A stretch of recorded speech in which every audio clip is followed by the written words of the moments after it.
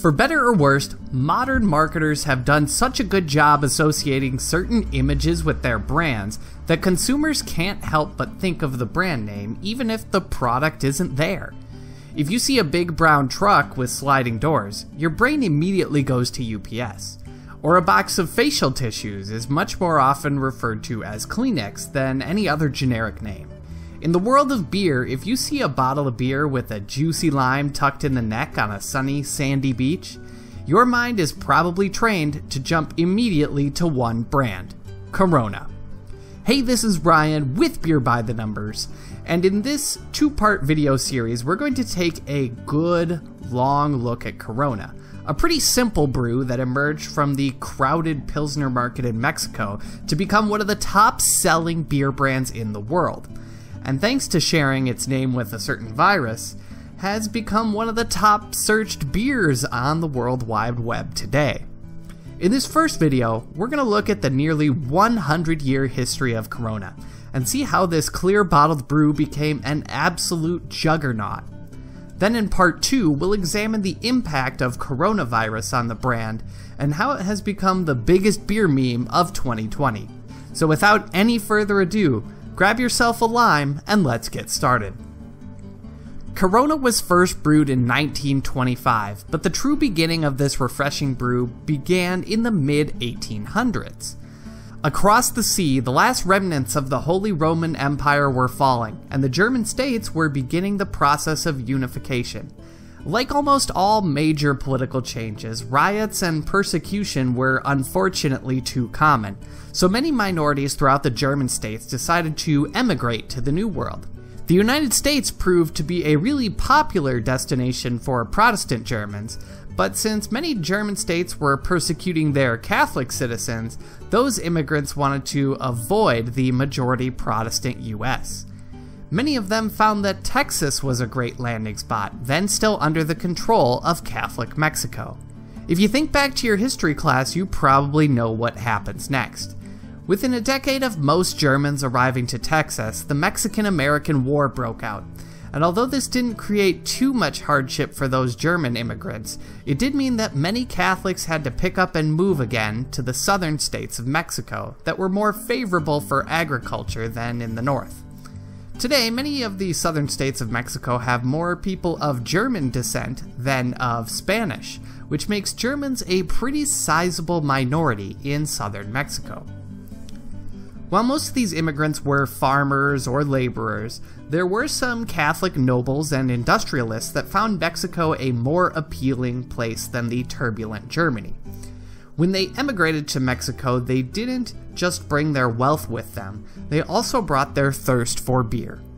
There are several stories of wealthy Germans bringing their favorite brewmasters with them to Mexico in order to establish breweries and give their fellow immigrants a taste of the strong beer culture that they left behind. By the late 1800s, Mexico had several breweries, churning out Pilsners and Vienna lagers, which were all the rage for German drinkers at the time. Over the next few decades, the Mexican beer market slowly grew with local and regional breweries, first focusing mostly on serving immigrants. But the refreshing lagers quickly gained a little popularity with native Mexicans as well. But as industrialization swept Mexico in the 1920s, a large new brewery was founded in Mexico City to serve the booming population there Cerveceria Modelo. In 1925, the brewery opened and began producing a Mexican style Pilsner called Corona. Unlike many of its more traditional European cousins, this lager was distinctly Mexican, with less noble hop bitterness and slightly higher levels of carbonation. Corona could provide sufficient refreshment and respite from the hot, hot Mexican sun. But it wasn't just the taste of this beer that was uniquely Mexican, its marketing was a great distinguishing factor as well. While many Mexican breweries were comfortable with marketing focused on their German brewing heritage, Cerveceria Modelo positioned itself as a high quality alternative to a Mexican drink called pulque. Pulque is an indigenous alcoholic drink made from the fermented sap of the agave plant. And while there were many producers of pulque in Mexico, The traditional nature of the product meant the quality was inconsistent at best. And Corona's marketing not only boosted the beer brand's popularity, but is largely credited for the steady fall in pulque consumption over the coming decades. Another winning slogan was introduced in 1943 20 million Mexicans can't be wrong. And Corona had officially cemented itself as Mexico's beer, completing their break from their German heritage in marketing. But while these slogans certainly made a great case for Mexicans to embrace the beer, two iconic images allowed it to become a global brand. From the beginning, Corona was put in clear glass bottles, which gave it a really distinct look in the marketplace.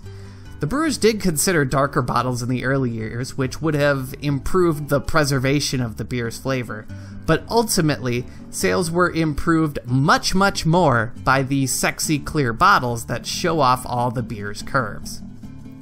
And of course, if you see a Corona ad featuring the bottled beers, you almost always see a lime along with it. This instantly communicates the refreshing approach the brewers took when making it, and when they paired it with the Find Your Beach slogan and imagery, drinkers around the world could have their own little slice of Mexico. The 1950s, 60s, and 70s were a time of great expansion for Cerveceria Modelo, acquiring five large breweries across Mexico. This expansion not only allowed them to meet demand for beer domestically, but they also began to export it abroad. In 1976, Corona began crossing the border to the north into the United States. Modelo had previously made entry into the US in the 1930s, but World War II was a major disruption to the supply chain. This reintroduction to the United States was quite the success. By 1996, Corona held the number one import brand in the huge US beer market, and it's held that number one spot ever since, nearly 25 years now. And not only is Corona popular in the United States, but it's also in many countries around the world. The 80s saw Modelo begin shipping to Australia, New Zealand, Hong Kong, Singapore, Germany, Greece, Belgium, and many other European nations. I can personally attest that the island of Bali in Indonesia is well stocked with Corona to pair with their exquisite beaches. All this success for the Grupo Modelo didn't go unnoticed by the world's largest brewing corporation in the world either, and in 2013, AB InBev purchased the Grupo Modelo and all their beer brands, paving the way for even more Coronas heading to Europe and Africa. And although we mostly cover craft beer here on the channel and the ins and outs of that market, Corona is an interesting story from a macro perspective. I can think of only one other beer that so completely encapsulates the unique tastes of a nation, and that's Guinness. And while Corona might not have as much history as the longtime Irish export, Corona has managed to build upon its German roots to become something uniquely Mexican. Corona might not be the greatest representation of beer in terms of quality, but its history leaves no doubt in this drinker's mind that Corona does an excellent job representing Mexico as the cultural crossroads the nation has become today. In my next video dropping soon, we'll discuss the future of Corona and how on earth the brand will be able to continue on despite sharing its name with the first global pandemic in the internet age. What do you think of Corona? Do you find it refreshing or kinda skunky? Do you take yours with or without lime? Let me know down in the comments section below. Once again, this has been Ryan with Beer by the Numbers, and I'll see you for another round in my next video.